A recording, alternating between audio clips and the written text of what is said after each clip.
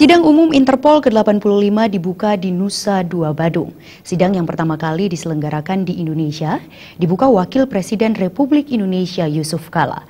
Isu terorisme dan narkoba menjadi pembahasan penting pada sidang kali ini.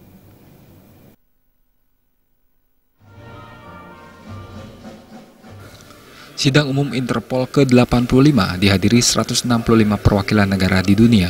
Kapolri Jenderal Tito Karnavian dalam pidatonya mengaku sangat bangga bisa berada dalam pembukaan sidang Interpol yang pertama kali diselenggarakan di Indonesia karena sangat penting dan bersejarah. Sidang Interpol kali ini membahas isu-isu global yang semakin kompleks terkait terorisme, money laundering, dan narkoba.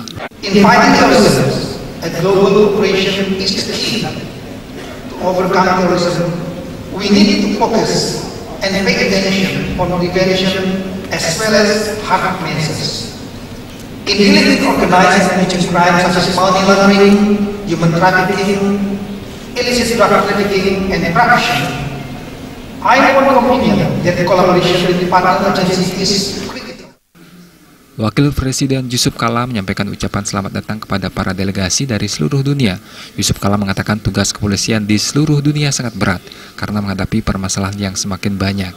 Sidang Interpol ini diharapkan tidak menjadi sebuah seremoni saja, namun sebagai ajang tahunan yang memprioritaskan pembahasan terkait cybercrime, terorisme, dan emerging and organized crime.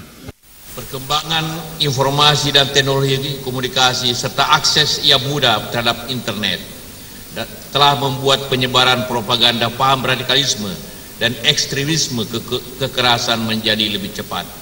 Berkenaan dengan penanggulangan terorisme yang merupakan kejahatan luar biasa sebagai bagian negara-negara anggota Interpol, kita perlu meningkatkan kerjasama yang lebih menitikberatkan pada bidang informasi intelijen.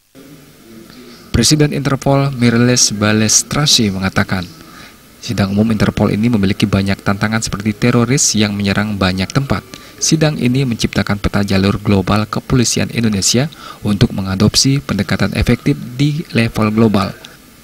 Indonesia yang memilih moto kebinekaan menjadi contoh bagi negara lain.